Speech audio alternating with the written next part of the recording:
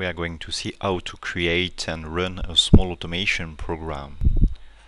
First we are going to create a new project, then we are going to add a new folder to this project and now we are going to use the assistant to create a small automation program. We are going to write the action,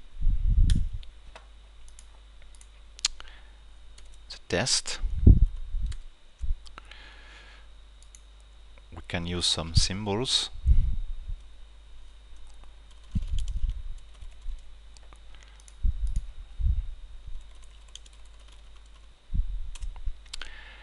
And now we can click on the go button to compile and to run the application. We need uh, to tell the compiler which uh, variables we want to use for the symbols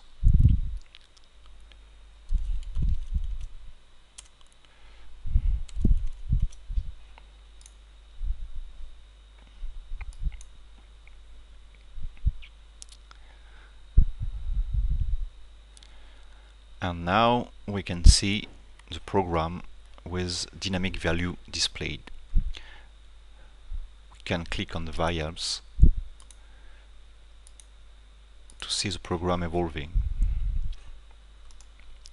We can also use some debug items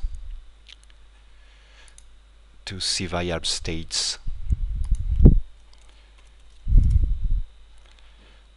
can also click directly on the tables to change the variable states.